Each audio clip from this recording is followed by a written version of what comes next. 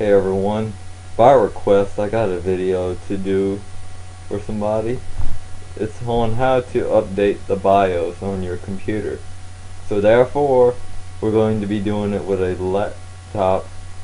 So, if you're doing this with your computer with a laptop that's made from an OEM, be sure to have it plugged in to charge it when you're doing this.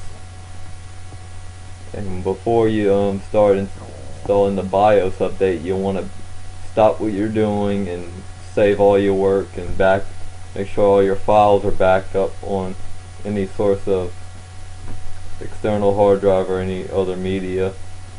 So therefore I'm doing this with a Toshiba laptop because I'm going to show you how to update the OEM's BIOS.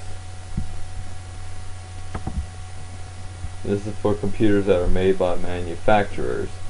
You can do this with a desktop as well and you want to go to your open up your browser you want to type in if you, do, if you have a Toshiba laptop you should go to support.toshiba.com they should have a support page on the manufacturer's website to download drivers and software for your computer. Usually just go to this download go to the download page and you want to put in what type of computer it is uh, either a desktop lap, you know, desktop, laptop, or a netbook. So I'm going to go ahead and choose the model.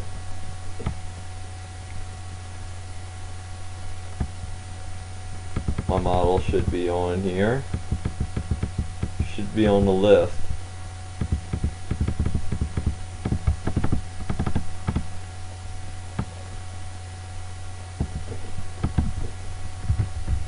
Or you can type it in instead of doing all that scrolling.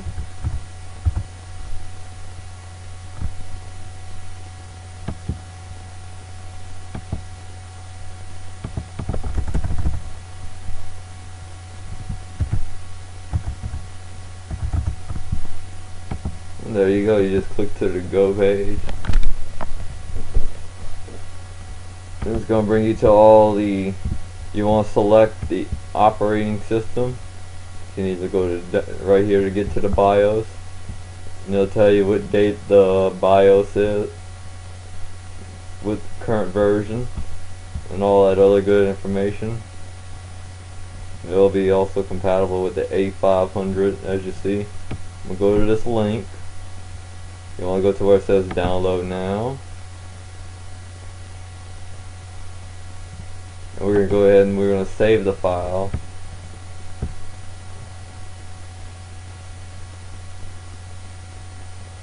So I'm gonna go ahead and I'm gonna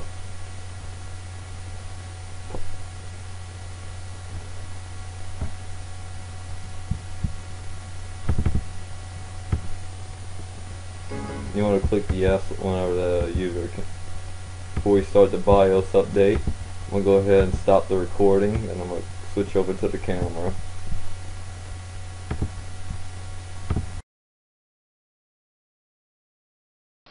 Okay, now you should see this window since you um, downloaded it and we open up the file for the BIOS update.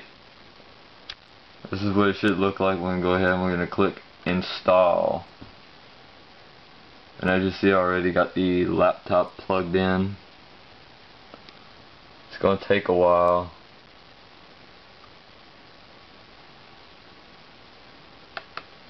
We're going to go to where it says install from Windows. So we don't need a disk or anything right there.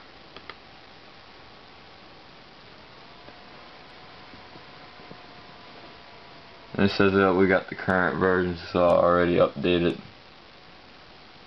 the BIOS on this thing. Just follow the steps and um